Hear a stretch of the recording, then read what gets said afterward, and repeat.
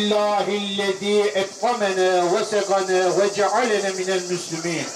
Nimeti celilullah, beraketi halilullah, şefaatu ya Resulallah. Yediğimiz nur, içtiğimiz tahur, ocaklarımız mamur, gönüllerimiz mesrur, dostlarımız şad, düşmanlarımız islah olan. Arta eksilmeye, taşa dökülmeye, bir lokma bin bir kadaya, belaya karşı gele. Hazır lokma sahibinin lokmasına hak Teala kabul eyleye. Geçmişlerine rahmet eyleye.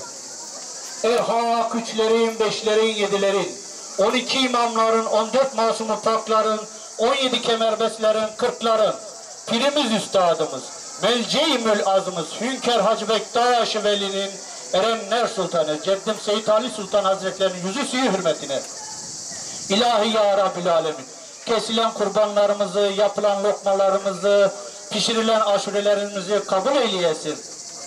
Gökten hayırlı rahmetler, yerden hayırlı bereketler ihsan eyleyesin. Gözümüzden yaş, duvarımızdan taş, gönlümüze ateş düşürmeyesin.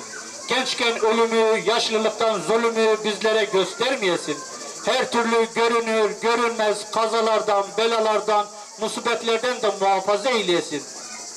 Birliğimizi, beraberliğimizi, kardeşliğimizi daim eyleyesin. Devletimizin sözünü üstün, kılıcını keskin eyleyesin. Duası bizden, kabulü Allah'tan ola. Allah rızası için El Fatiha.